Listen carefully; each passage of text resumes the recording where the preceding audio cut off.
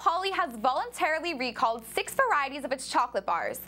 The recalled candy bars may be contaminated with peanut, milk, or soy allergens. The bars may also have been exposed to microbial contamination. The peanut butter crunch bar, coffee crunch bar, are just a few of the many chocolate bars that have been recalled. No Ill illnesses have been reported, but the recalled candy bars should not be consumed. Customers who have purchased recalled chocolate bars can return them to the store where they bought them for a full refund.